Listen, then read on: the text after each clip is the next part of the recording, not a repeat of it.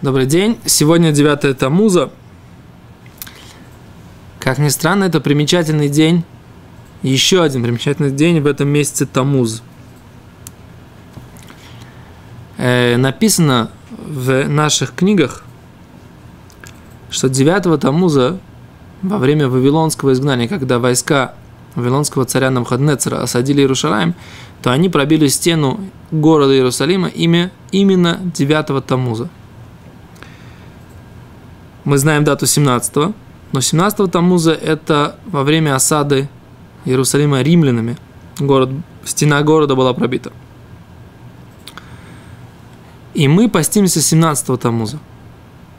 Но в первое изгнание, вавилонское изгнание, стена была, как мы уже сказали, пробита 9 Тамуза.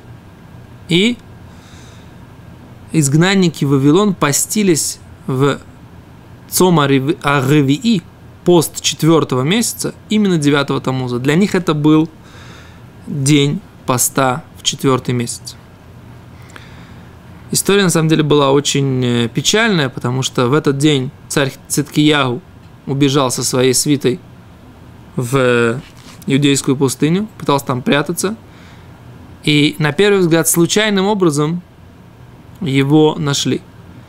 Преследователи гнались при охоте за оленем и увидели, что, что Циткияу и приближенные вылазят из пещеры, заметили их, схватили и привели на расправу с э, Вавилонским царем и с его военачальником Навдарзаном. А вот это вот э, история дня 9 Тамуза, то есть для изгнанников Вавилона это был самый трагический день в за историю изгнания. 10 Тевета, да, давайте построим хронологию. Значит, 10 Тевета начался, началась осада Иерусалима, и до 9 Тамуза город был в осаде, и 9 Тамуза с 10 Тевета до 9 Тамуза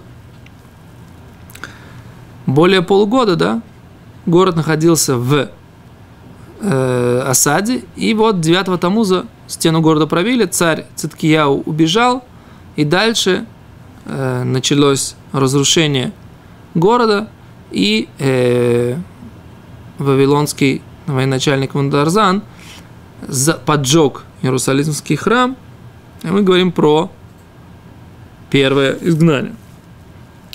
Но мы 9 Тамуза не постимся, в отличие от изгнанников Вавилон – Мудрецы говорят, что 17-я Тамуза для нас более важно. Почему? Потому что это день разрушения или день пробитого, пробитой стены второго изгнания, изгнания в римского.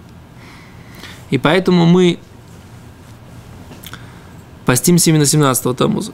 Говорят наши мудрецы, в принципе, нужно было поститься и 9 и 17. Но просто-напросто нас не заставляют делать то, что до такой степени тяжело.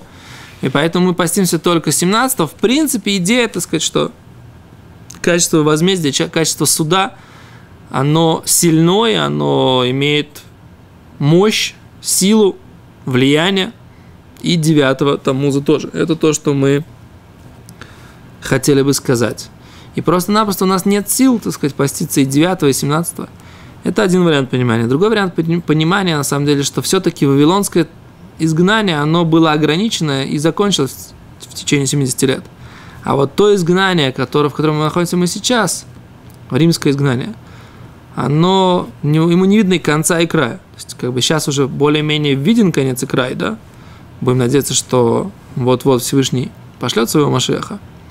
Но Наши мудрецы считали, что важнее нам второе изгнание, потому что оно намного длиннее, намного мощнее, намного сильнее.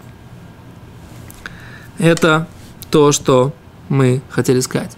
Но, в принципе, на самом деле, если посмотреть в корень вещей, то именно с 17-го Тамуза был сделан грех Золотого Тельца. Да? Именно 17-го Тамуза Мушер Абейну разбил скрижали Завета. То есть 16 Тамуза, прошу прощения, 16 Тамуза был сделан грех Золотого Тельца, а 17 Тамуза Машарабейну разбил скрижали Завета, и весь мир пошел по сложной кривой исправления, исправления греха в очередной раз. Первый раз он пошел по пути исправления греха, когда первый человек вкусил от дерева познания добра и зла. На момент получения Торы еврейский народ исправил этот грех и стал бессмертным. И после греха Золотого Тельца еврейский народ заново пошел на долгую кривую исправления греха Золотого Тельца. Как сказано, что «бьем пагдиу показывайте». Э, и в день, когда будет Всевышний вспоминать какие-то другие грехи, еврейский народ будет получать наказание из-за греха Золотого Тельца, как было, была договоренность с Мушарабейну.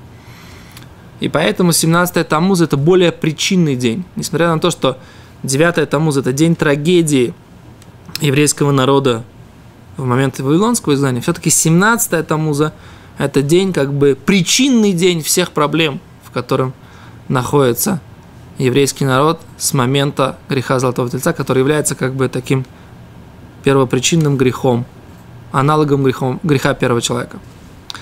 Поэтому сегодня мы не постимся, хотя, в принципе, и надо было бы.